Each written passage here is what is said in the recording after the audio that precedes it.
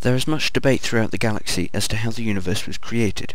A galactic government survey of 33,000 systems showed that 32,999 of those systems thought that it was created by some sort of important guy that calls himself God.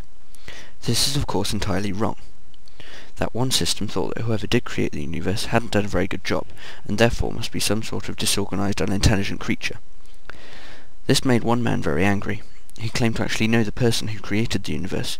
He tried to tell anyone that would listen that the creator was a good friend of his from a dimension that kept changing into different shapes just to annoy people, and that he ran a small gift shop in that dimension with him. This answer actually made more sense than the theory of the disorganized, unintelligent creature and the ludicrous theory of a god.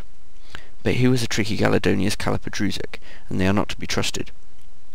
Strangely enough, this particular tricky Galadonius Calipodrusic was actually telling the truth.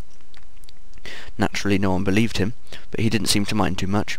He was in fact the next in line to rule over the entire southern coast and 5,000 hyperinches of the next universe, and the southern coast of that universe.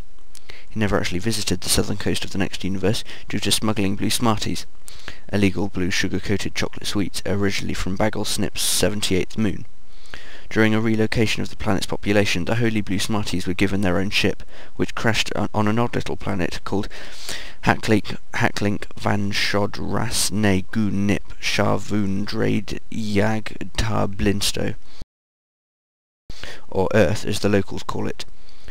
They then went along and mo mocked the Holy Blue Smartie by manufacturing multicoloured ones.